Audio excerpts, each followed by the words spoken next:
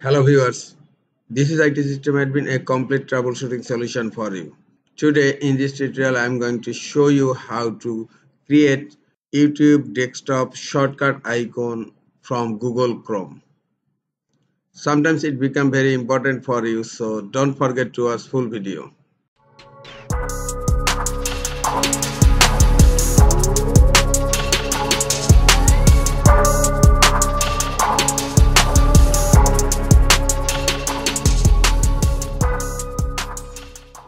Open your Google Chrome.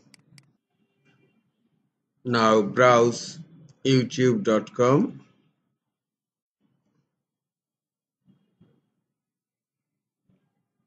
YouTube has been opened. Now in upper right corner click on three dot icon. Now click on more tools then click on create shortcut. Click on create shortcut.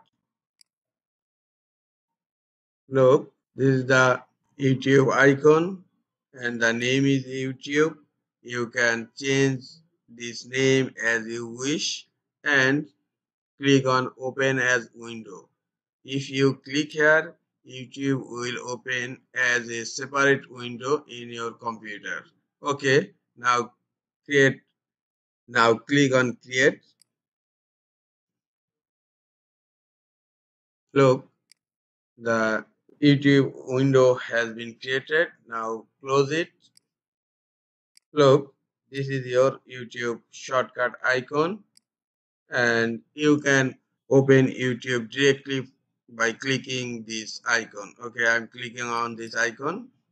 Look YouTube has been opened on your desktop computer as a Android view. You can browse YouTube from here.